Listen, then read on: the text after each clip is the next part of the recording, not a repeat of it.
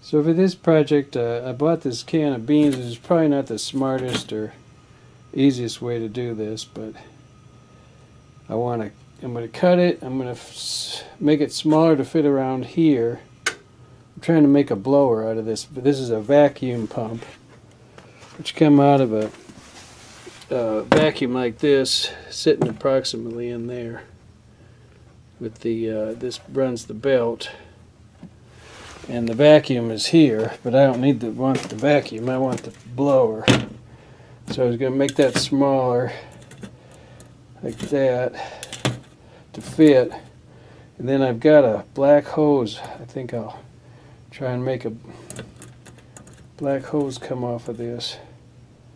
Pretty large one, but still it'd be smaller than a box fan. You know, smaller than your average fan. Which, so I'm going to blow underneath so we'll see if it, if it works. You know, one reason I don't want to spend any money on this thing, and um, but to squeeze it down, I hadn't thought about this, but I use big radiator clamps. It's, it's good to have, um, it's good to save stuff. So those radiator clamps squeeze it down.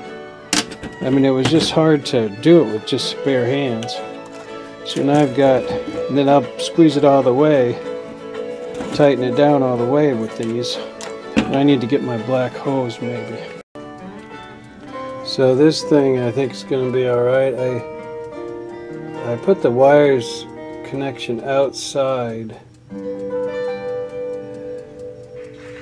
because um, so I could control it better and see it better. Then I ended up fastening. I probably could have put it inside. Maybe I'll change it back. Put it inside. As long as I can fasten it like that. You want to be sure that it can't get away. So I saw I'm going to leave these out. I'll tape them all up. I soldered these connections and I'm going to use, I use this kind of a cloth tape for the initial. It's better insulator, I think. So, um, it works. I'm, I have to talk now because when I turn it on, I won't be able to hear anything else. Um, I really would like to have a diode and cut this voltage in half.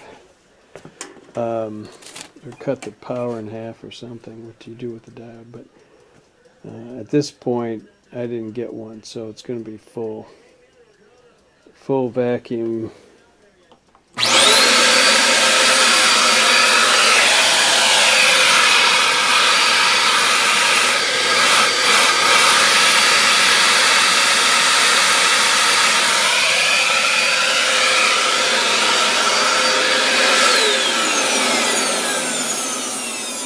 Actually, it's not as much air as you would uh, suspect, especially from that noise.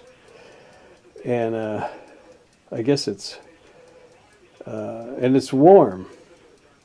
Surprisingly warm here. I guess because uh, it uses so much energy, I guess to. But anyway, I'll show you what I want to do with it next. So um, this car's got got wet, and uh, I've been trying to dry it with these box fans, but um, you know, it's under that carpet, so they can't get under there very good.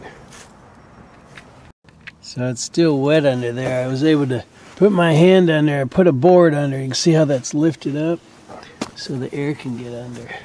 Because it's wet between that seat, under that seat.